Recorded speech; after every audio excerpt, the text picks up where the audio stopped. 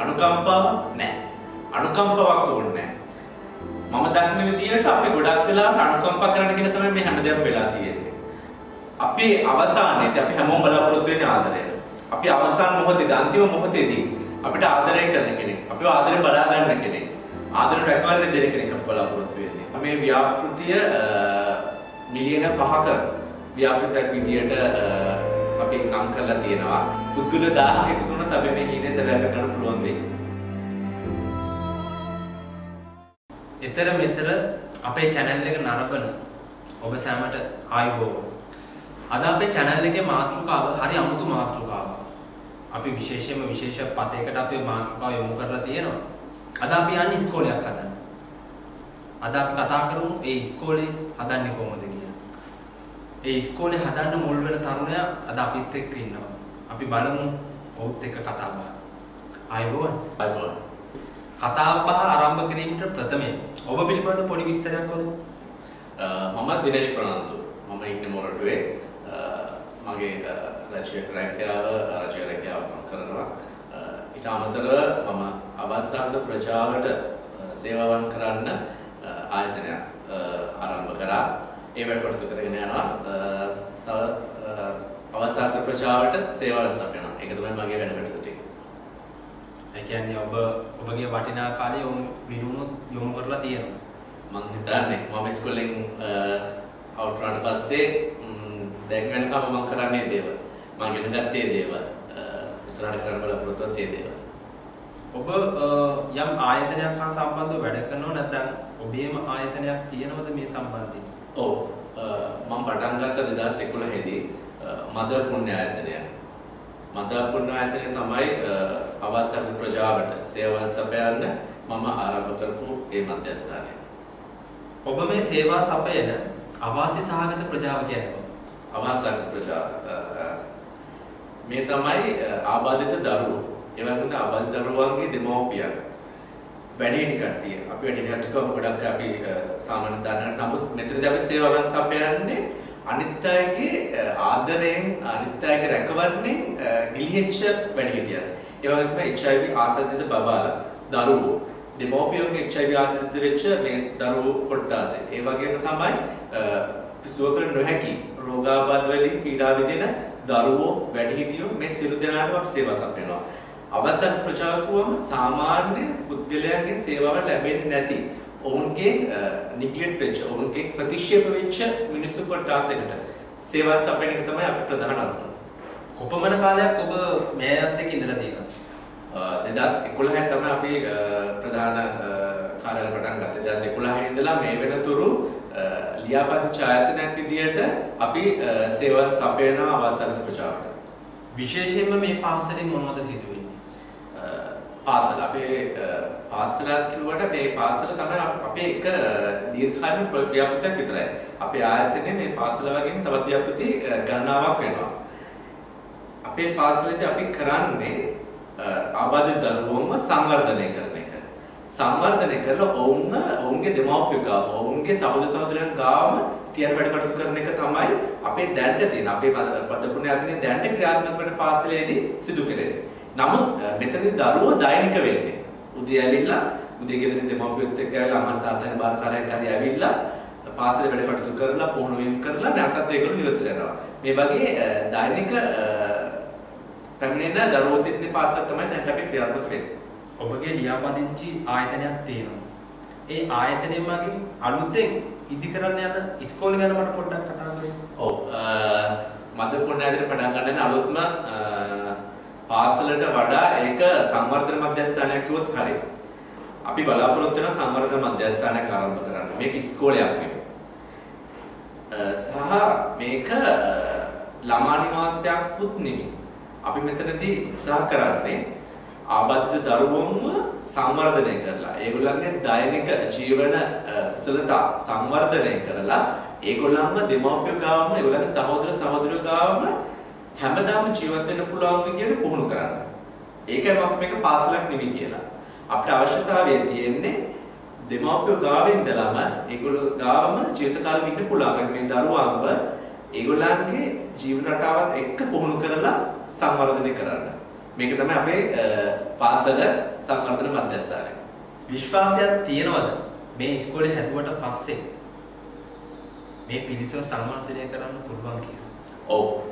ලොකු විශ්වාසයක් තියෙනවා. මොකද අපි මේ වැඩ කටයුතු දැන්ටම තත ගහලා තියෙන්නේ. අපේ දැන්ට තියෙන අ, සංවර්ධන මධ්‍යස්ථානයේ දරුවෝ උදේ 8:00 ඇවිල්ලා දෙකට යනවා. මේ කාලය ඇතුළතදී ඔයගොල්ලන්ගේ සංවර්ධන කටයුතු සිද්ධ වෙනවා.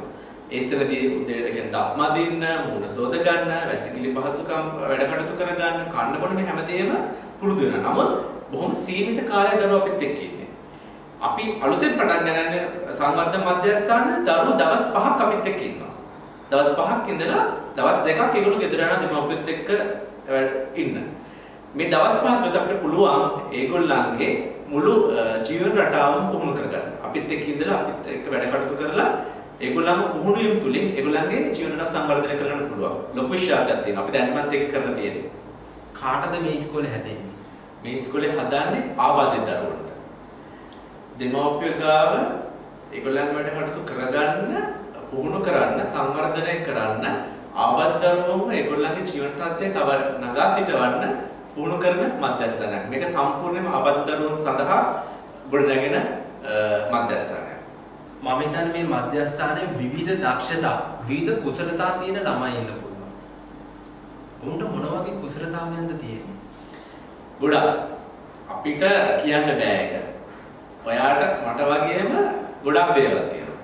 අපිට දීප කුසලතාව අපිට කවුරුත් අපි මුලින් දැනන් හිටියේ නෑනේ. එක එක විවිධ විවිධ පැතිවලට ගියා. ඒ දරුවොත් එහෙමයි.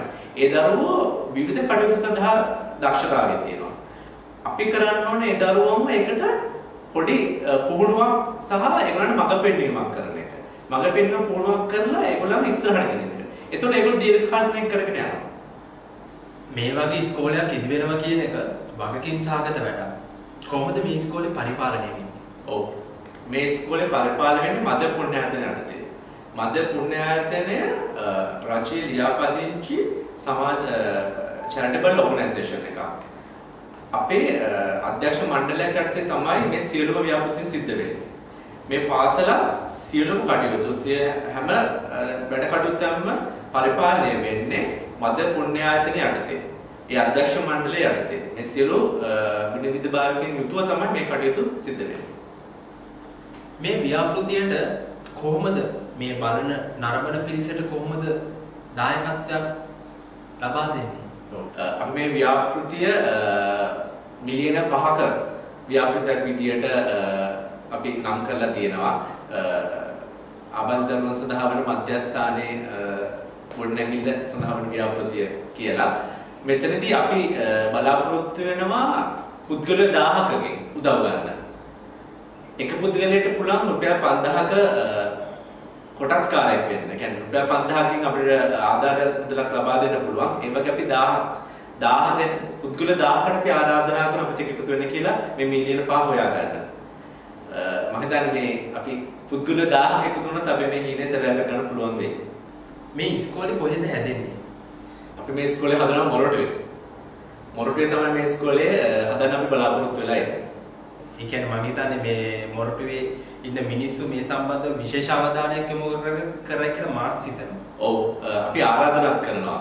මොකද මේක මොරටුවේ මිනිස්සුන්ගේම එකමුතුවෙන් හදන්න පුළුවන් නම් ඒක වඩාත් ශක්තිමත් වෙයි. අපි එකතු වෙමු හැමෝම. මේ වගේ ව්‍යාපෘතියක් කිරීමේ අරමුණ මොකක්ද? ඒක ලොකු කතාවක්. මුලින්ම කියන්න ඕන ආබාධිත දරුවෙක්ව දෙමව්පියෙක්ගෙන් අ, වෙන් කරන්න හේතු ගොඩක් තියෙනවා. වෙන් වෙන්න හේතු ගොඩක් තියෙනවා. අම්මෙක් අතේ කවදාකවත් හිතන්නේ නැහැ තමන්ගේ දරුවෙක්ව වෙන් කරන්න. නමුත් යම් යම් හේතුන් මත ඒ දේවල් ස්වභාවික වෙන්න අවස්ථාවක් තියෙනවා.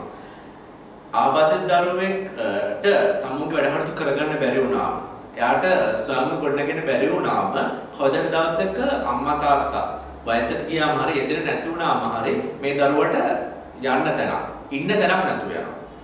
ඒක තමයි දැන් ගොඩක් වෙලා- ගොඩක් වෙලා තියෙන්නේ. මේකට විසඳුමක් ඕනේ. මේකට විසඳුම තමයි මේ ආබද්ධ දරුවන්ව සංවර්ධනය කරන එක. ඒගොල්ලන්ට තනියම ජීවත් වෙන්න, ඒගොල්ලෝ වැඩ කටයුතු කරගන්න, අ, ඉස්සරහට ජීවත් වෙන්න පුහුණු කරන එක. මේකට මෙන්න මේ ප්‍රශ්නට විසඳුමක් විදිහට තමයි අපි මේ සංවර්ධන මධ්‍යස්ථානය ආරම්භ කරන්නේ. ඔබගේ මද පුණ්‍ය ආයතනයත් සමග පෞද්ගලික අංශය සහයෝගයක් තියෙනවා. ඔව් මද පුණ්‍ය ආයතනය ගොඩ නැගෙන්නේ හැමෝගම එකමුතුවක් විදියට. මොකද මේකේ හැම සත්‍යයක්ම දීලා තියෙන්නේ මිනිස්සු. මේකේ හැම ආධාරයක්ම කරලා තියෙන්නේ මිනිස්සු. පොඩ පොඩ පොඩ පොඩ එකතු වෙලා තමයි මේ මද පුණ්‍ය ආයතනය ගොඩ නැගලා තියෙන්නේ. මේක අරමුදල් ගොඩ නැගලා තියෙන්නේ. මේ ලබා දෙන සේවාවන් සපයන්න හැම මිනිස්සෙම දීපු රුපියලේ ඉඳලා ලක්ෂ ගණන් වෙනකම් මුදල් එකතු වෙලා තමයි සහයෝගයෙන් තමයි අපි මේ සේවාවන් සපයන්නේ. මේ ලැබෙන අරමුදල් සම්බන්ධයෙන් ඔබට ලබා දියගේ සාතිකය මොකක්ද? ඔයාලා අපි ගාව තියෙනවා. මේ හැම දෙයක්ම ඔඩිට් වෙනවා. අපි මේ හැම වාර්තාවක්ම රජයට ලබා දෙනවා. ඔයාලා මේවා බලන්න පුළුවන්. මේ හැම මුදලක්ම ගිණුම් ගත වෙනවා. ගිණුම් විස්තර තියෙනවා. මේ මුදල් පිළිබඳ පරිහරණය වෙන්නේ කොහොමද කියලා අපි රජයට වල් කියන්න ඕනේ. රජයට වාර්තා කරන්න ඕන. ඔබට ආරාධනා කරනවා ඔයාලා බලන්න පුළුවන්. රාජ්‍ය අනුග්‍රහයන් එහෙම ලැබෙන්නේ නැද්ද? ලැබෙනවා. නමුත් ඒක රජයට හැකි පමණින්.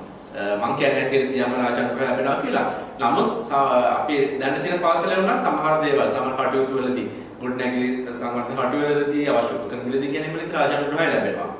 අපිට මේ කටයුත්ත ආරම්භ කිරීමේදී රාජානුග්‍රහය ලැබේ. නමුත් ඒක 100ක් සම්පූර්ණ කරගන්න අපිට මදි. ආබාධිත දරුවන් සඳහා රජයේ පාසල් වල විශේෂ අධ්‍යාපන ඒකක තියෙනවා. මේ වගේ විශේෂණ අධ්‍යාපන ඒකක තියෙද්දි ඇයි තව පාසල? හොඳ ප්‍රශ්නයක්. අපේ ඒක කරන විශේෂ අධ්‍යාපන ඒකකවලදී දරුවන්ට ඉගෙන ගන්න පුළුවන් අවුරුදු 14 වෙනකම්. ඔකරම අවුරුදු 14 වෙනකම් විතරයි. නමුත් සාමාන්‍යයෙන් බුද්ධිමත් ප්‍රත්‍යාසින සරුවේ දරුවෙක් ඩවුන් සින්ඩ්‍රෝම් තියෙන දරුවෙක් මේ වගේ ආබාධිතත්වයන් තියෙන දරුවෝන්ගේ ශාරීරික වයසයි මානසික වයසයි දෙකක්.